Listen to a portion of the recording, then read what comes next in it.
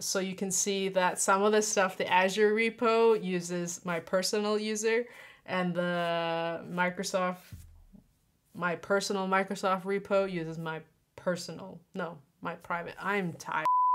Hey everybody, it's been a while. Um, I don't post much these days on social media, neither on uh, Twitter, I refuse to call it X, or on YouTube, but I do read your comments. And um, recently, I thought about one of the comments from about two weeks ago from One Day a Week, who asked in a video a while back, you showed that you use a hardware solution to manage your GPG keys. Can you make a video on what that hardware device is and how I set it up?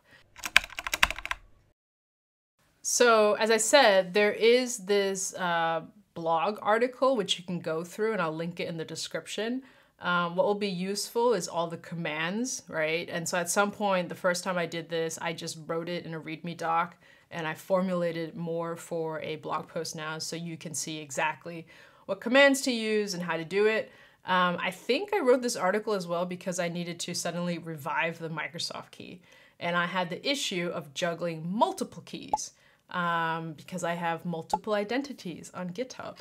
So um, I'm not going to go through this in detail. You can read it. What I'm going to do is actually just on the fly show you how I use it, which uh, can go, you know, as live demos do. Maybe good, maybe bad. Okay, so before we get started, which keys am I using? I'm using keys from Yubico, and I have two of them. So I have a USB-C one and a USB a, I think that's what these are called. Um, and that's because this was originally bought for the computer that I got from Microsoft, which at the time didn't have USB-C. Okay, so let's go to GitHub. Um, the first thing I'm gonna do actually is I'm gonna sign in. So if I click the sign in button, I have one password. This is going to use the fingerprint on my Mac. So I'm to sign in here and I do have multi-factor set up. So as soon as, wait a minute, do I have any open USB-C ports? I do. Okay, so as, as soon as I click this, right, it's gonna say all these different things. I could use my phone, but my favorite is actually just to pop this in here. And I don't have to click on this piece. I can just tap it and then it will log me in. Um, I find it much easier than opening the app and I have like 10 million like uh, those one-time use codes and I have to pick it out. So I prefer actually just the USB-C key or the fingerprint thing on the Mac. Um, okay, so now we're logged in. Why do I use these keys in my Git workflow? I'm gonna click on this one because it's a public repo. And if I click on the list of commits, what you'll see here in the GitHub UI is that it's verified that I actually made that commit. And the way that works is that these keys, they um, have a private key on them, right? And keys come in pairs, private and public. So what I do is I sign my commits with the private key that is on the YubiKey. Key and GitHub has my public key. So if you click on the verified, what it'll say is that the commit was signed um, by my signature. And that basically means that um, if somebody tries to sign a commit with my name and email address, it'll show up as unverified um, because I've asked GitHub to do that. Whoops. And it's showing that um, I was it was signed with this particular key. So if we go into GitHub, where is it? I think it's in settings. Uh, here we go, GPG keys. So you'll see that I have a few. One of them already expired. But basically what you do is that the keys are associated with an email, so they'll also verify the email address. Yes, my work email is on there. Don't email me if I, in case I forget to blur this out because I barely answer my colleagues' emails. So yeah. Mm. Anywho, um, so this is added here. They only have the public key. They do not have the private key. Those are always on my devices. And yeah, so here you go. You have here like the vigilante mode. Um, how do you pronounce that? And so unsigned commits as unverified, right? So if it's not mine, don't do it. Um, if I find a screenshot, there was a case like ages ago where somebody impersonated Linus Torvalds um, and deleted like some, I don't know, pff, Linux repository. Um, and that's actually pretty easy, pretty easy to do if you know how Git works. So let's take a quick look at that. Okay, let's step back and let me draw out the crazy thing that I was trying to do while really tired. It's Friday. Okay, so let's say this is Julie, not NG, it's gonna be OG. And then I have another Julie here, which is MS for Microsoft. So I have two YubiKeys.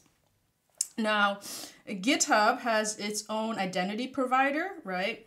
And so this account is something that I've had for like ever, 10 plus years.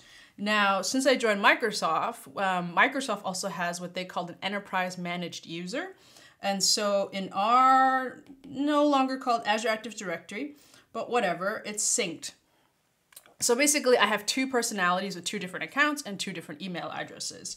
Now, when in the video, when I make commits in two different repositories, right? So let me see if I can zoom out a little bit. so let's say I have one repo here. Let's say this is a Microsoft repository. And then let's say this is a, you know, a private Julie repository, a personal repository. Um, wow, the camera's really struggling to autofocus if I look down. Okay. Um, so I'm going to take key number one, right? Uh, let me do a US one, which is going to be the um, OG Julie. And then I have key number two, which is the Microsoft Julie. So when I sign my commits, this happens locally on my computer, right? It does not happen on GitHub. So I make my commits, maybe I'm on an airplane or whatever. Um, I get off the flight and then I push them to GitHub. And so let's just say this identity provider is going to be attached to github.com. It has its APIs, and then that's exactly what we're gonna do, is we do a push. And let me take another color. So for these APIs, you need to authenticate, right? So it works via, or the way I'm authentic authenticating to Git is via HTTP. And um, there are various ways to do it, right? What I do is I take advantage of something called an et netrc file, which is on my computer.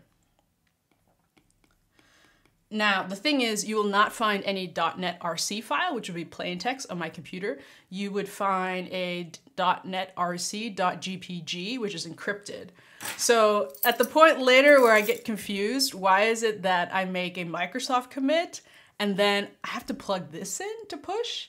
It's because if I want to push to github.com, that netrc file is encrypted with this key. So I always need to take this personal key to push anything to github.com. Okay, now uh, I'll let you get to the video and maybe it's less confusing than this. Okay, let's see how I use this. Now, um, as I mentioned, I have everything configured in a dot files like repository, so every shell kind of loads that. Um, I've emptied it right now because it shows what accounts I'm logged into on Azure and stuff.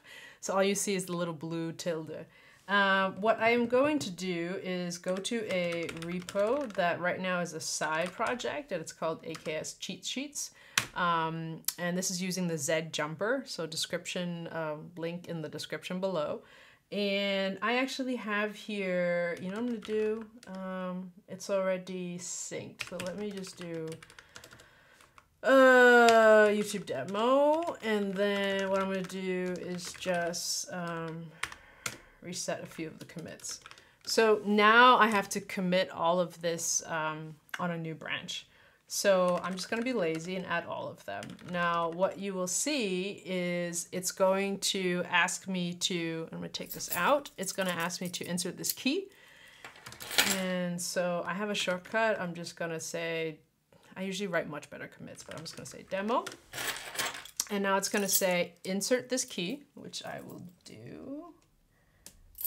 And I hit enter and there's a pin Of course, bad pin. Try again. Uh, type slow. Okay, so this means that if somebody steals my, you know, my keys, um, they don't have immediate access to it. So there's a pin both to use it. There's also a pin to access the admin uh, tool to change pins and keys and all that other stuff on it. So now that I've done that, um, one important thing to know actually, and actually let me just show that now there is a file um, in my home directory that's not checked into the dot .files GitHub repo because there's too much like personal stuff in there. Um, in case I forget to fuzzy out my work stuff, don't email me because I barely answer my emails if you're uh, my colleague. So um, anyway, what you'll see here is that um, I've configured my user globally. It's also all the commits are signed. And also I've unset the credential helper from the Mac OS X keychain. I'm not sure if that's necessary anymore, um, but sometimes, yeah, machines try to be too clever, or maybe I'm trying to be too clever and I want to undo something. So let me get out of this. Um, and I have that new commit, which I haven't pushed yet. And actually, if I not lazy, git push. Um, U stands for set upstream. So I'm just gonna do origin yt demo. And now it's going to ask for the um, the pin again. And this is because this is the netrc helper, right? So this is not git, this is netrc that is using this. And netrc is what is being used to um, uh, hold all the credentials that I have um, for anything, whether it's GitHub or Heroku. There's a few other things in there, but those are the two biggest ones that I use. Um, okay, so that was done. Let's go to a, another repo, the Microsoft repo. Okay, the Microsoft repo. Um, this was called Cloud Insights. And actually this has stuff that I, I haven't committed yet, which is what I can see here with the exclamation point. Um, how old is this? Oh, many weeks old. Um, let's just see. What I'm gonna do is I'm gonna make a new branch then. Um, what is it that I did? Oh, I started something for filtering. Yeah. Um, and then I'm actually going to check out a branch and I'm going to call it work in progress. Or I can just call it whip. Um, filters, something like that. And then I will just already add it. So actually I can just say commit. Um, well, let's say demo committing work in progress code. My brain ain't working. So now it wants a different key, right? So unplug this, find a dongle so I can use old school USB. Uh, plug that in, hit enter. Uh, yes, allow the accessory to connect. And then now, um, I remember. Woo! Okay. So now that one did a commit. And one of the things then, if you look at, so if I do git show, what you'll see is that um, it's signed, well, it's authored by me and it will also be signed.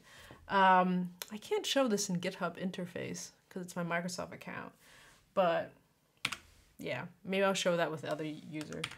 Uh, let me push this. I'll do the same thing, set the upstream and whip filters. And this one, oh, that's the other card number. This will be funny. Does this, I forget what I have to do. I think I have to take out this one and then add this one back.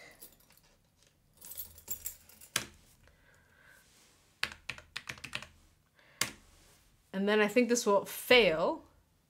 No, it worked. Oh. It's late. All right, I'm gonna close out this video now. It was a bit messy, but I wanna get back into the rhythm of actually just posting regularly. Um, I think it's um, going to be key as I get back into the group of things. So for everyone who's been posting really encouraging comments in the YouTube comments, thank you, thank you, thank you very much. Um, I do read all of them. So pardon that this is less polished.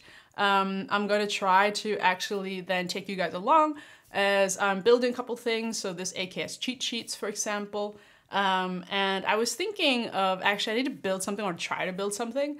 And I was going to maybe try to, I was going to maybe actually try to do pair programming with GitHub Copilot um, to see how that goes. Um, let me know if you'd be interested in that. So thank you to um, you guys who watched all the way to the end, and I hope you have an awesome weekend.